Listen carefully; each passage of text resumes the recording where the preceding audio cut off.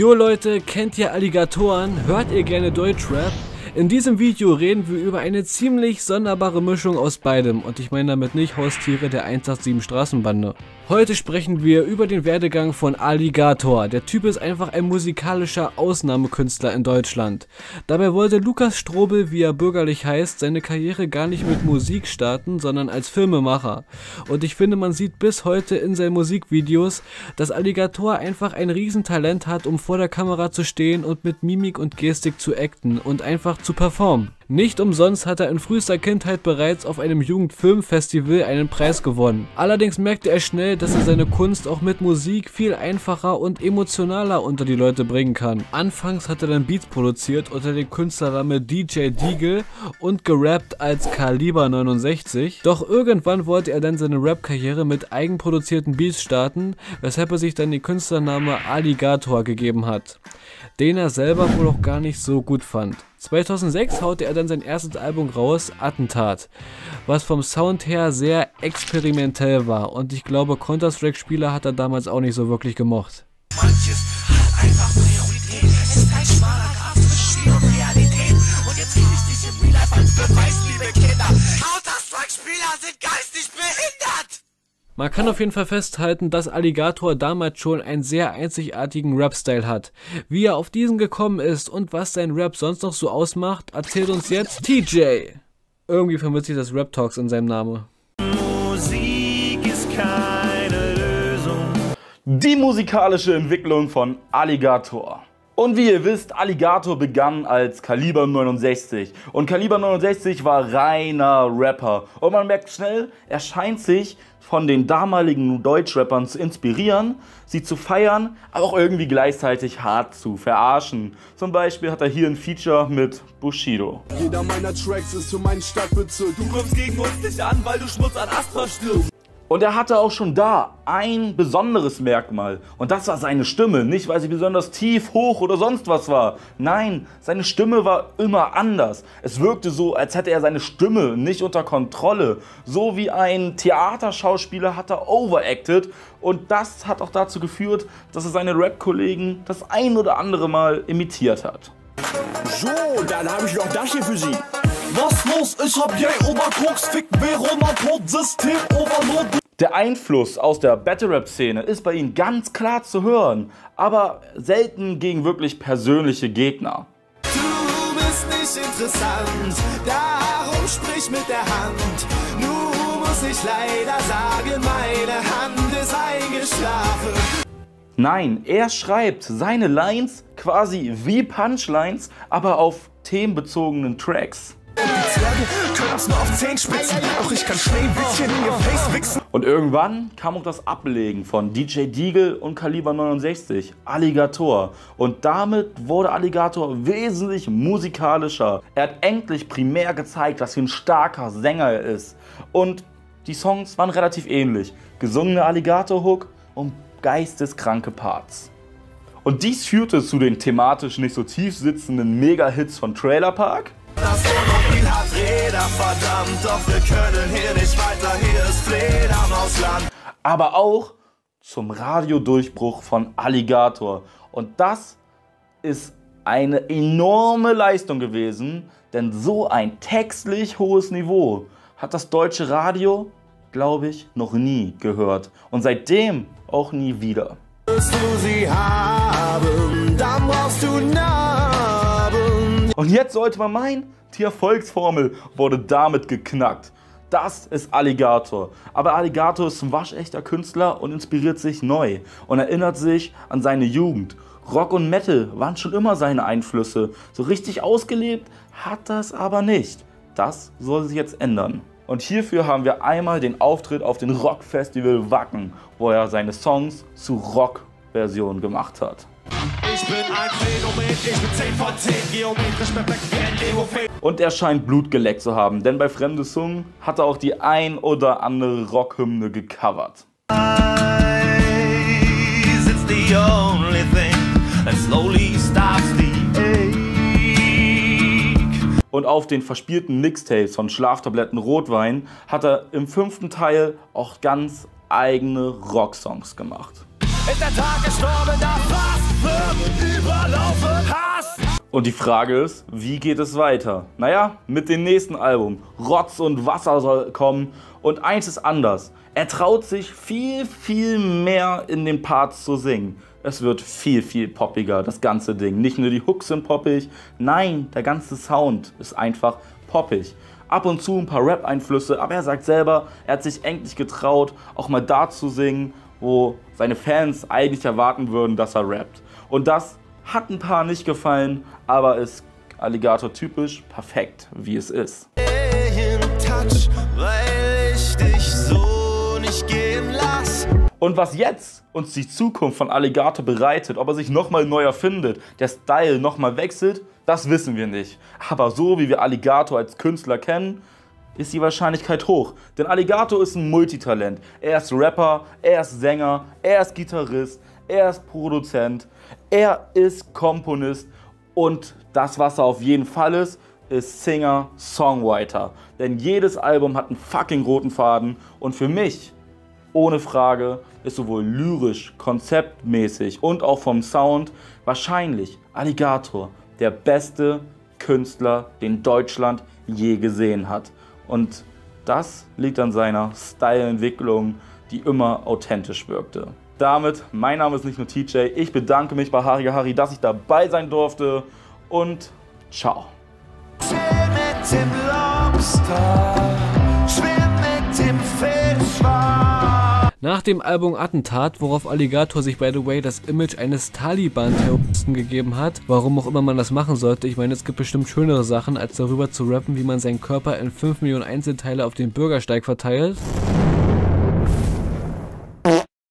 kam das Album Schlaftabletten Rotwein Teil 1 im Jahre 2006, welches Alligator selber nicht mal als vollwertiges Album bezeichnet, sondern nur als Mixtape.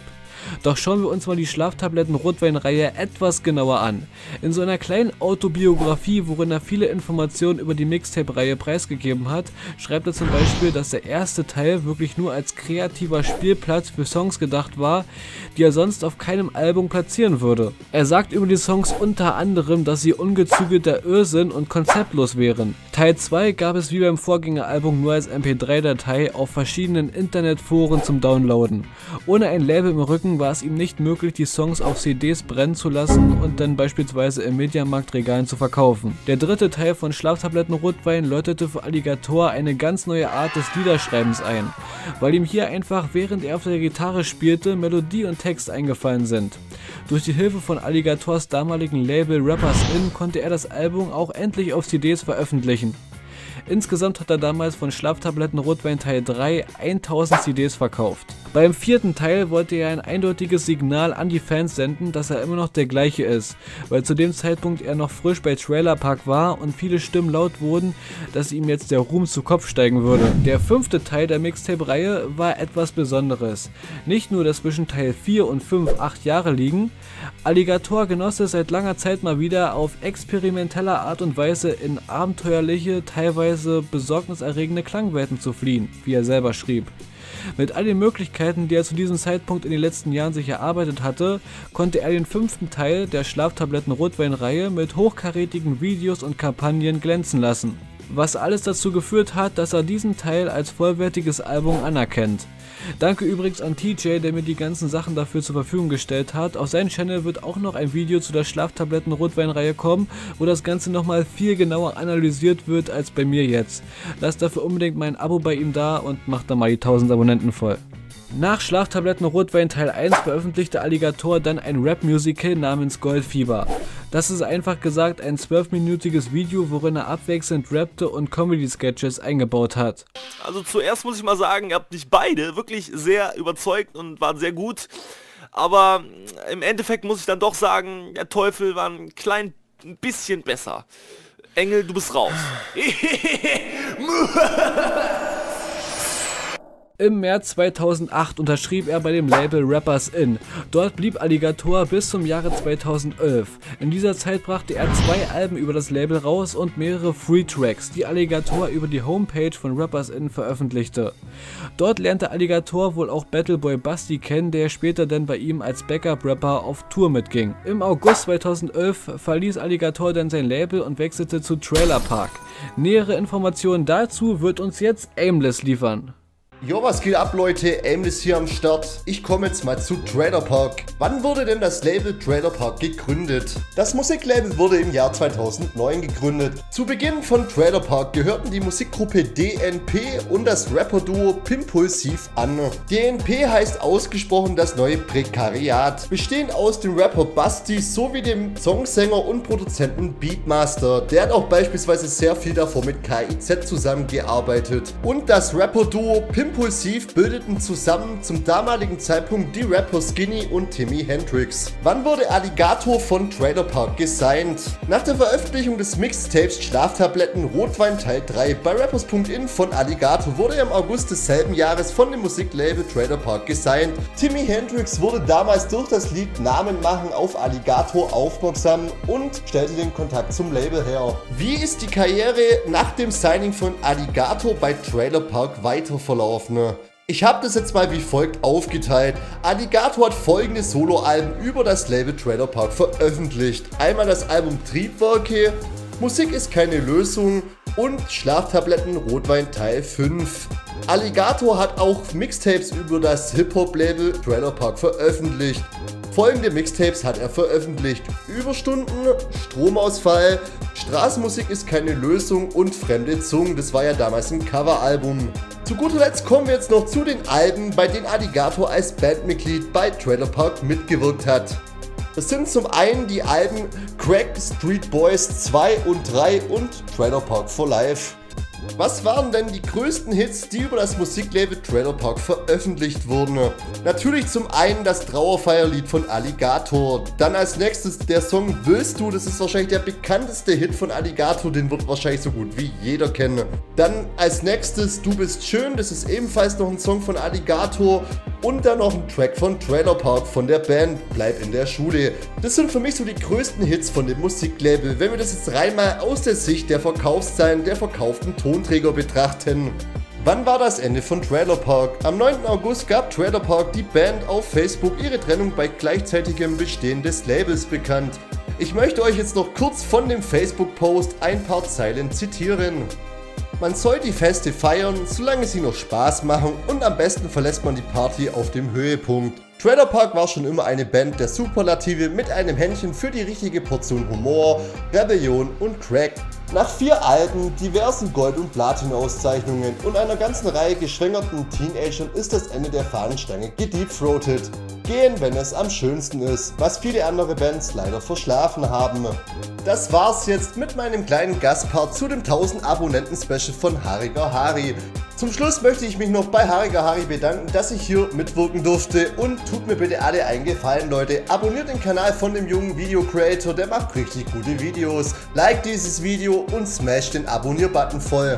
Das war es jetzt von meiner Seite. Macht's gut, bleibt gesund und haut rein. Wir sehen uns bis zum nächsten Video. Vielen Dank, Bro. Schaut doch unbedingt bei ihm vorbei. Alle Leute sind verlinkt in der Beschreibung. Im August 2013 veröffentlichte Alligator sein drittes Album Triebwerk, was auf Platz 1 in die Charts einstieg und im Jahre 2014 den Goldstatus erreichte. Die Single Willst du, die auch auf dem Album war, erreichte sogar Doppelplatin und sollte Alligators größter Hit werden. Ich weiß ja nicht, wie es euch geht, aber allein schon wenn der Beat anfängt, bekomme ich so krasse Nostalgie-Kicks. Danke Alligator für diesen Song, der auch meine Jugend geprägt hat. Am 27. November 2015 erschien Alligators viertes Album Musik ist keine Lösung, worin er wieder viel Gesellschaftskritik äußert mit so Singles wie Vor Gericht, Lass liegen und Denk an die Kinder. By the way, das Album konnte ebenfalls die Marke von 200.000 Verkäufen knacken und wurde ebenfalls wie das Vorgängeralbum Triebwerk mit Platin ausgezeichnet. Am 3. Dezember desselben Jahres gewann Alligator die 1 Live Krone in der Kategorie Bester Hip-Hop Act. Da fällt mir gerade ein, haben wir überhaupt über Alligators Live-Performance geredet? Für mich ist der Typ einfach einer der besten Live-Künstler in Deutschland, wenn nicht sogar der beste. Angefangen haben seine überragenden Konzertauftritte 2011, wo er das erste Mal mit Pimpulsiv, Sudden und DNP auf der Pep Nose Days Tour verschiedene Städte in ganz Deutschland besuchte. Und danach wurde Alligator auch auf gefühlt jedes Festival gebucht. Egal ob Rock am Ring, Wacken, Hurricane Festival, Splash und ja, liebe Shindy oder Tilo-Fans, so sieht jemand aus, der wirklich einen Splash-Auftritt hinlegen kann. Das Ding ist, Alligator nimmt alle Playback-Rapper sowas von hops, weil einfach die Crowd sein Playback ist. Szene, weil es passt. Und ich fall auf die Knie und hol aus meiner Jacke eine kleine Schachtel.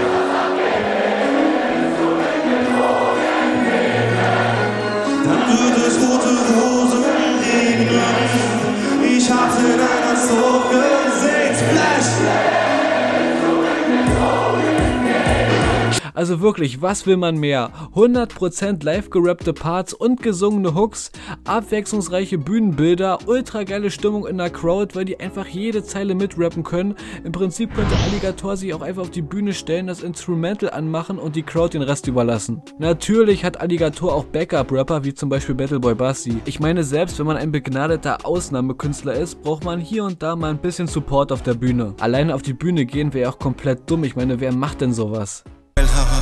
Irgendwie ist mir gerade aufgefallen, dass wir jetzt schon einige Minuten keinen Gast mehr am Start hatten. Sag mal, wie kann das sein in meinem 1000 Abonnenten-Special? Ey, Mert, drop uns mal 5 random Fakten über Alligator. Psst, Leute, ich habe mich ja auch in das Video eingeschlichen. Erzählt dem haarigen Harry aber nichts davon, okay? Ich habe jetzt hier fünf random Fakten über Alligator, Freunde. Und legen wir auch mal direkt los. Der erste Fakt. Habt ihr euch je gewundert, wo Alligators guten, krassen Talente überhaupt herkommen? Zwar hat er die von seinen Eltern geerbt. Seine Eltern waren Schauspieler und Tänzer. Er war als Kind oft im Theater anwesend, als seine Eltern Auftritte hatten. Und seine Eltern haben auch oft mit ihm gesungen, zum Beispiel am Esstisch oder an Feiertagen. Und so hat sich Alligators Talente noch allmählich entfalten können, schon im Kindesalter. Der zweite Fakt. Wusstet ihr, dass zwischen Kollega und Alligator eine Art Verbindung besteht? Weil Alligator Kollega imitiert hat. Alligator selbst ist dafür bekannt, Rapper zu imitieren. Er wollte aber nie als Rapper, der nur Leute imitiert, abgestempelt werden. Aber auf dem Song Kunst des Beitens und Kunst des Beitens Reloaded imitiert Alligator massiv Sammy Deluxe, Farid Bang, Haftbefehl und noch viele mehr. Später kam dann der Song Nervt nicht, worauf Alligator am Ende des Songs als Kollega rappt. Die Stimme klingt fast original wie von Kollega. Einbildung ist auch eine Bildung. Ich bin so fame, ich kann mit jedem Rapper featuren. Ich muss nur daran glauben, meine Freunde. Ich komme mit Bling Bling und Platinkette in deine Kindertagesstätte. Dein Verhalten ist durchschaubar wie eine Wintergartendecke. Ich mach Kriminalverbrechen, weil ich euch mit Ecstasy versorgt werde. Deine Mutter für mich eine Pornotritte, der kriegt den Academy Award. Der dritte Fakt. In einer Zeit, wo Leute TikTok als Werkzeug nutzen, um irgendwie einen Hauch von finanzieller Unabhängigkeit zu erreichen, kommt Alligator daher und zieht über diese ganzen Leute hinweg, indem er seit 2020 einen TikTok-Account führt, wo er jedem Video nur Wasser trinkt. Das ist doch mal ein Diss, oder Freunde? Der vierte Fakt. Alligator machte ein Community-Musik. Das Ganze eignete sich 2018, wo Alligator einen Aufruf startete, dass seine Fans ihm Bilder zuschicken sollen, die dann zu einem Musikvideo zusammengeschnitten werden. Diese Bilder oder dieses Musikvideo waren für den Song Die grüne Regenrinne gedacht. Der Song war bereits auf einem alten Album von ihm veröffentlicht worden und sollte dann durch die Hilfe der Fans ein Musikvideo bekommen. Und zu jeder Zeile in diesem Song sollten dann die Fans auch Bilder dazu malen, die dann natürlich auch dazu passen. Unter anderem malte auch der YouTuber Mimi ein Bild, welches man am Anfang vom Musikvideo sehen kann. Der fünfte und letzte Fakt. Alligator singt auf Hochzeiten. Am 4. Februar machte Alligator einen Insta-Post, wo er schrieb, dass man ihm ab sofort für Hochzeiten buchen kann. Und danach trulten direkt die Anfragen hinein. Insgesamt soll er über 1000 Hochzeitsanfragen bekommen haben. Aber am Ende wurden nur vier davon ausgewählt. Die Auftritte auf den Hochzeiten wurden von einem Kameramann begleitet und wurden später in dem Musikvideo zu dem Song verloren eingebaut. Okay, Freunde, erzählt ihm nicht, dass ich hier war. Macht's gut und alles Gute zu den 1000 Abos, Bro. Vielen lieben Dank auch an Mert, er ist ebenfalls in der Videobeschreibung verlinkt, schaut bei ihm auch sehr gerne vorbei. Am 14. September 2018 erschien dann Schlaftabletten Rotwein Teil 5, worüber ich ja schon gesprochen habe. Zeitgleich haute er auch das Coveralbum Fremde Zungen raus mit gecoverten Songs von Slipknot, Rolf Sukowski, Rammstein und noch viele mehr. 2019 trat Alligator die Wie zu Hause Tour an, benannt nach dem gleichnamigen Song auf dem Album Schlaftabletten Rotwein Teil 5. Für 2020 war ein Wie zu Hause Open Air angekündigt, was in Rostock, Dresden, Erfurt, Ludwigsburg und Osnabrück stattfinden sollte.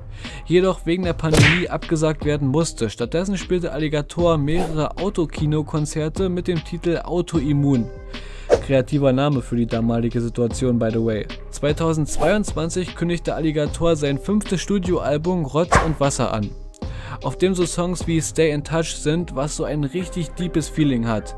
Ja klar sind diepe Songs bei Alligator nichts Neues, aber normalerweise kombiniert er diepe Texte und Feeling mit so einer Prise Selbstironie und Humor, was bei Stay in Touch zwar auch irgendwie der Fall ist, vor allem wenn man das Musikvideo kennt, aber es wirkt trotzdem auf mich noch emotionaler und gefühlvoller als andere Alligator-Songs, die in diese Richtung gehen. Oder auf jeden Fall berührt es mich auf einer anderen Ebene. Aber auch Songs wie Nachbeben, Verloren oder Nicht adoptiert, die ebenfalls auf dem Album sind, wurden künstlerisch wieder sehr gut in Szene gesetzt. Auch durch die Musikvideos, wo Alligator im Vergleich zu vergangenen Werken nochmal eine ordentliche Schippe draufgepackt hat. Er sagte auch in einem Interview mal, dass viele Leute, die das Album Album hörten, Emotionen verspürten, die sie zuletzt durch die Pandemie erlebt haben, sowie Trauer oder Einsamkeit. Und das, obwohl er viele Songs schon 2019 fertig hatte, wo es ja noch kein Corona gab. Danach startete Alligator ein Format, wo er Songtexte von dem Album Rotz und Wasser analysiert bzw. ironisch kommentiert und neue Interpretationsmöglichkeiten schafft. Herzlich willkommen zu Alligator erklärt seine eigenen Texte. Das heutige Lied heißt Nachbeben. Ist die Königsdisziplin Yeah, yeah, yeah. Dreimal yeah, so als würde man einen Flaschengeist rufen, der den Namen Yeah trägt. Hier zeigt sich auch eine gewisse Hilflosigkeit, hier zeigen sich die Wünsche. Eines Tages sagen sie, werden mal deine Träume wahr. Ich hoffe nicht, denn ich träumte, ich wäre ein Räucheraal. Dies war die ursprüngliche Version der Zeile. Das fand ich allerdings etwas zu albern, deswegen habe ich es einmal geändert. Später im Text verfalle ich wieder in alte Albernheiten und deswegen hätte ich es mir auch gleich sparen können. 2023 ließ es Alligator etwas ruhiger angehen, bis auf den Song Salzwasser von dem Musiker Bosse, wofür Alligator ein Feature machte, und dem Livestream-Projekt Nadelhorst, was in Zusammenarbeit mit Amazon Music entstanden ist, kam von Alligator nicht wirklich viel dieses Jahr. Es gibt sogar ein paar Anzeichen, dass er dieses Jahr seine Karriere beenden möchte. Zum Beispiel hätten wir da das Jesuskreuz, was man in dem Musikvideo zu dem Song Trauerfeierlied sehen kann, wo drauf steht Gern geschehen Alligator 1998 bis 2023 was ziemlich krass wäre, weil dann hätte er einfach schon vor 10 Jahren sein Karriereende bekannt gegeben. Was aber auf jeden Fall dafür spricht, ist der Post, den er vor ein paar Tagen auf Instagram veröffentlicht hat. Mit der Unterschrift Marktforscher wissen, ihr werdet Alligator vermissen 2023. Viele Fans spekulieren ja gerade, dass er nur seine Kunstfigur Alligator beerdigen will und dann unter seinem richtigen Namen weiter Musik veröffentlicht. Was auf jeden Fall zu hoffen ist, weil Alligator ist so ein einzigartiger Künstler und eine Bereicherung für die gesamte Deutschrap-Szene. Aber was denkt ihr? Wird Alligator seine Karriere in diesem Jahr noch beenden? Schreibt's gerne in die Kommentare und lasst ein Like da. Wir hören uns im nächsten Video. Bis dann. Ciao.